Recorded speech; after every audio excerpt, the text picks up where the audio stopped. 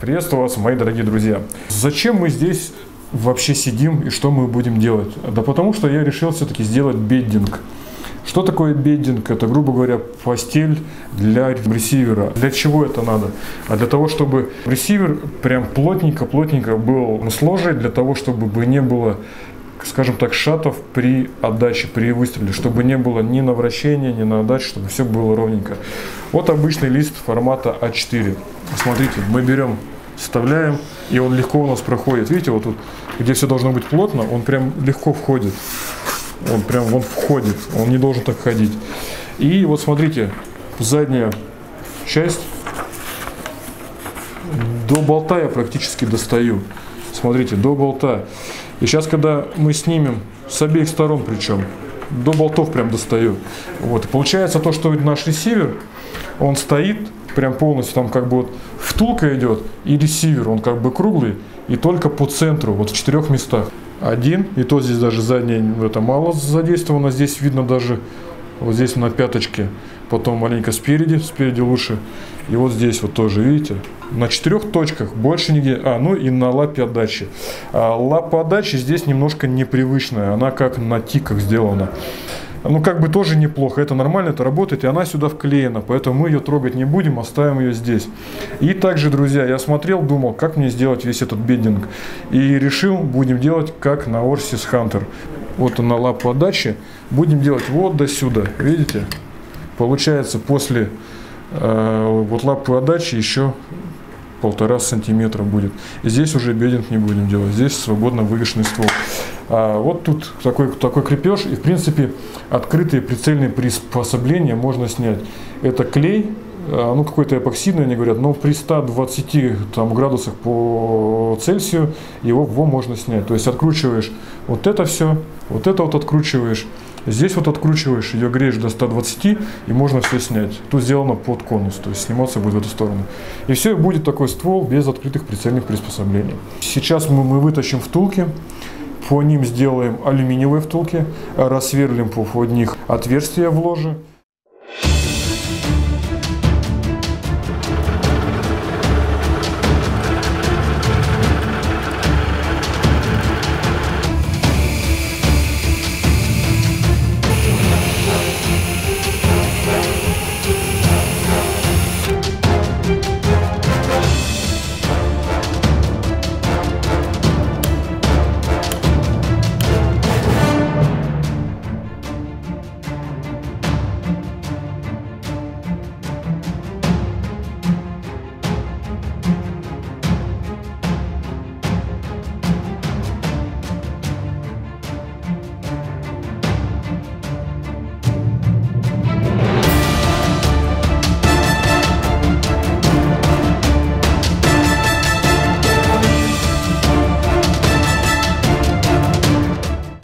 Так вот, у нас уже все готово. То есть мы сидим, мы уже приготовили ствол.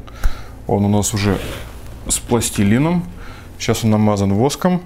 И сейчас мы э, полотенцем бумажным э, заполируем до блеска для того, чтобы вот не было лишнего, скажем так, пространства между нашей эпоксидкой и стволом, скажем так, чтобы все было очень ровно и гладко.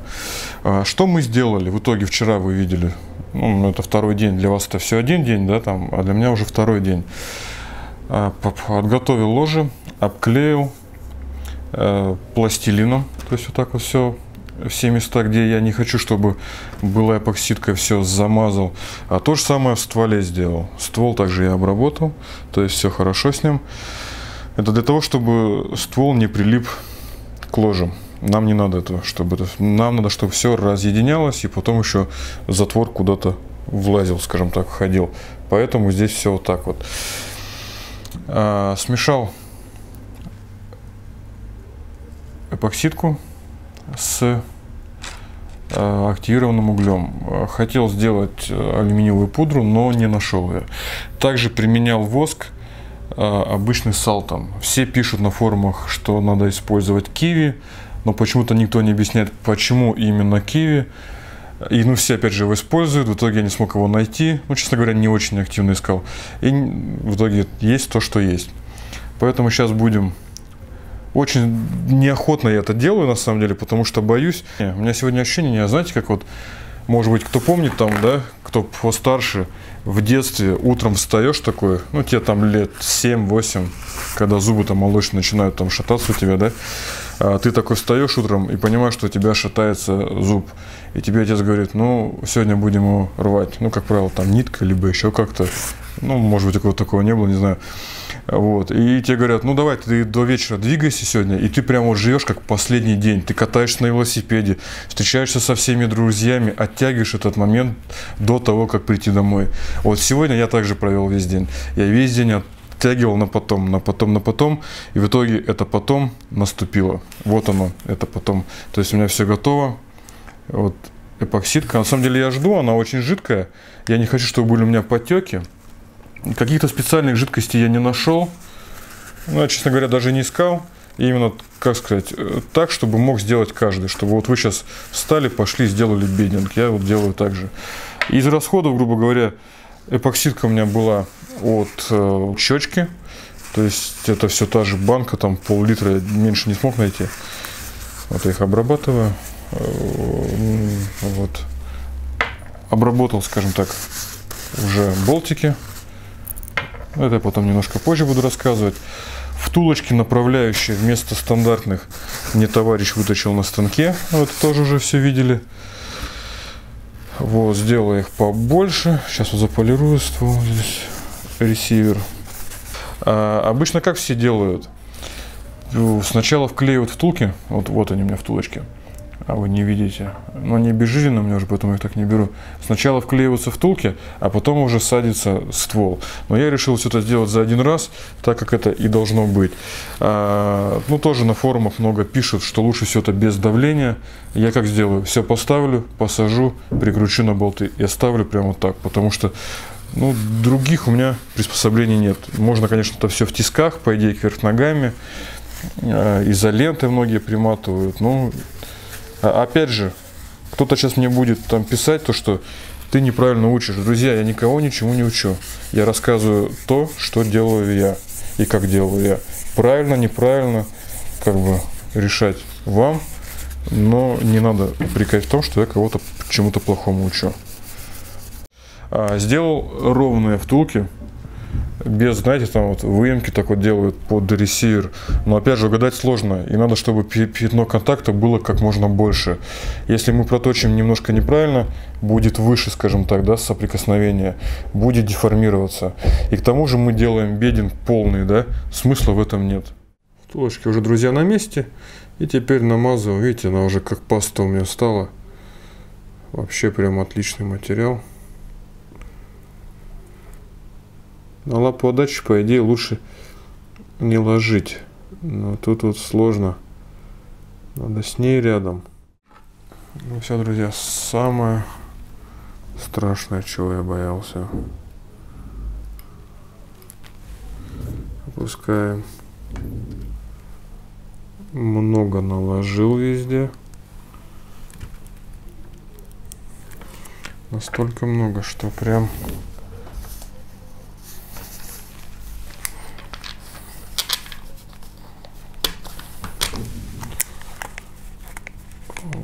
будем прокручивать. Надеюсь, не ошибся. Да, все хорошо. Длинный сзади. Можете в комментариях мне написать, а, как отмыть от металла эпоксидку. Что-то жесть. В общем, все, друзья. Ждем. Снимать будем тоже, наверное, вместе. Ну или я потом сам, ну не знаю. Я это буду утром, скорее всего, делать, буду на работу спешить, не знаю, включу, не включу камеру. Но результат вы в любом случае уже узнаете. Вот, сейчас у меня задача какая? На протяжении э, всего момента застывания я буду шевелить болты. Иначе, если я не буду шевелить болты, я потом не смогу снять. Все. Пожелайте мне удачи. Ну что сказать, это было Это были очень тяжелые сутки. Ну, во-первых, я просыпался ночью для того, чтобы откручивать, постоянно болты подкручивать, чтобы они их не, не прихватило. Утром первым делом, что я сделал, я посмотрел, все ли там в порядке. А расцепил, кстати, утром. Расцеплялось, ну, с усилием, взял за ствол, вот так вот, короче, раздвинул. В итоге вот что мы видим. Видим, пластилин остался на месте. А вот, часть, конечно, ушла именно с ресивером. Вот. И что сказать, первый блин, не то чтобы совсем комом, но и не совсем идеально, как я бы того хотел на самом деле. Вот. Ну что сделать, оставляем так, как есть. Сейчас а, почистим, посмотрим. На первый взгляд вот виднеются небольшие раковинки. Ну так вот, прошел еще один день. А за это время что случилось? Я когда вчера, для вас это было секунду назад, разобрался, почистил и увидел то, что... А, смотрите, я одновременно вклеивал направляющие и делал полностью бединг, да. И когда я откручивал откручивал и закручивал свои болты, э, на направляющих было немножко смещение, на втулочках, да, на втулочках было смещение. И в этот момент они становились немножко боком. И у меня были рядом э, с втулками, скажем так, бугорки. В целом все было клево, вы сами это видели. Но самое важное, как раз таки направляющие вот эти вот, да, я надфилем вчера убрал, появилось, ну, естественно, я понимаю то, что скорее всего, будет не совсем ровно. Что я сделал дальше? А, дальше я полностью все убрал пластилин. Вот здесь вот, вы помните, вчера был здесь пластилин. Его я убрал, смазал. Ну, а здесь опять же заготовочки все сделал, то есть все хорошо у меня здесь. Развел жидкую эпоксидку, опять же, с активированным углем, с порошком активированного угля. Нанес все это и посадил и не трогал. Если в первый же день я утром разъединил, сегодня же я дождался до вечера. И у меня получилась вот такая вот история. Вот эта вот часть правая сильно прилипла. И вообще почему-то сильно прилипла. Или как-то развел неправильно эпоксидку, или еще чего. Она такая стеклообразненькая стала. И ввиду этого все получилось клево. В целом я доволен за исключением двух моментов. Первый момент, ну вот с чем я доволен, то что э, под задней втулкой все идеально ровно. До сюда, да, вот сзади, вот до сюда вот, все вообще идеально, прям четко. Вот эта сторона, левая сторона около ресивера, да, ну вплоть до конца вот до сюда, до переднего края бединга, вообще все идеально. Перед лапой отдачи все хорошо. Э, сама передняя, около передней втулки, в принципе, вот сам вот этот круг, он ровный получился. Ресивер же у нас круглый, а втулка ровная. И получается с эпоксидки вот этот вот овал сделанный, да. То есть он, в принципе, от, ну, хорошо сделан, все хорошо, за исключением того, что вот задняя часть, вот здесь вот, видите, почему-то приклеилась. И когда я разъединял, она оторвалась. Не знаю почему. И сильно пострадала, потому что была приклеена. Не знаю, как она приклеилась. Все воском смазывал. Все было хорошо. Э, правая часть около ресивера. Ну, то есть она не оторвалась, она на месте, да, но выглядит так, как будто, как будто, знаете, потрескалось стекло. Оно не полностью про, про, протрескалось. На видео, конечно, смотреться это будет ужасно, я уже это представляю. Но я для себя сделал вывод. В данный момент бединг я закончил, он будет таким. Мы с вами постреляем, посмотрим, улучшилась ли кучка в целом или же нет. Помним, да, то, что именно на видео у меня получалось 1,9 да, по, по центрам. Лучшее, что я мог собрать кентавром 9,4. Ну, ну, латунная, естественно. Сейчас пока я так оставляю, я уверен, что уже лучше, потому что как минимум у нас втулки хорошие, да, и постель все равно есть, прилегание будет больше. Вот, к примеру, сейчас вот, ну, на четверочку, опять же на четверочку. Вот задняя часть вообще хорошо все, передняя не совсем доволен. Ну что делать, друзья? Так бывает, собирать я не буду на камеру. Честно говоря, мне уже надоело. В следующий раз эпоксидка я делать уже не буду. Кто бы чего ни говорил, у каждого свой опыт, мне оно не понравилось в работе. А есть еще куча разных штук. В основном все рекомендуют Девкон. Девкон это ну, тоже эпоксидка, только якобы идеально для этого подходит. Она уже такая твердая идет. И в чем плюс, друзья? Надо вот именно в таком виде делать. Не заклеивать полностью, да, чтобы эпоксидка везде текла и все такое. А просто берешь вот здесь вот Девкон. Ну, я уже как бы ничего не делал, но представляю, размазываешь его здесь вот, да, и просто садишь. Гораздо проще будет в, в работе. Ну что ж, время покажет, постреляем пока так. В следующий раз я уже не буду на этом экономить. Ну что ж, это мой опыт. Я с вами им поделился. Надеюсь, вы не допустите таких же ошибок. Ну, давайте начнем. Если вы соберетесь делать, что вам нужно будет сделать, да? Если вы соберетесь даже эпоксидкой делать, делайте в таком виде. Вот прям в таком. Не надо запечатывать здесь полностью. Естественно, железо готовить надо. Запечатывается все, смазывается воском, полируется. Все идеально. Доводите э, эпоксидку до такого состояния, чтобы она была как вот, ну, как вот сметана, что ли. Нам, наносите ее на те места, где надо. Не везде, как вот я залил, да, вы это видели, а вот именно вот так вот. И садите. Пусть она течет, она вся не вытечет, потому что она, она уже густоватая будет. В нужных местах она останется, а там, где она стечет, вы легко потом, когда все это высохнет, обработаете надфилем. То есть я сейчас буду еще надфилем это обрабатывать. Сборка у меня сейчас это все дело займет, я пока металл очищу. То есть, ну, как бы я еще позанимаюсь. И было бы, конечно, логичнее сейчас все это до конца довести, опять разобрать, э, заказать дивкон. Но, друзья, давайте проверим, как оно будет стрелять. И второй момент. Все же я бы, вот как в следующий раз, как я, я буду делать, да, сначала я вклею втулочки, а потом буду делать все остальное, дабы избежать тех ошибок, о которых я уже говорил. Ну, когда на бока у меня стало, и вот тут вот рядом шишка образовалась. А, при видимости того, что сейчас выглядит немножко хуже, чем вчера, и вот именно сейчас лучше сделан бединг.